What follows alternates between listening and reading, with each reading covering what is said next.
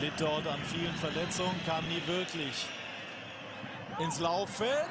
Petric und Tor! Und was für eins! Ein sensationelles Tor von Petric. Also der Mann hat eine eingebaute Torgarantie. Das ist schon ein Phänomen. Fünfter Treffer für den HSV in der Bundesliga.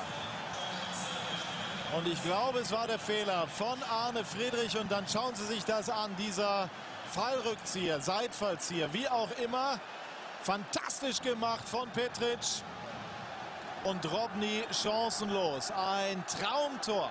Ein Traumtor. Schauen Sie sich das an. Also wenn er den dann auch noch bewusst gegen die Laufrichtung platziert hat, des Torhüters, also dann gehen mir die Superlative aus.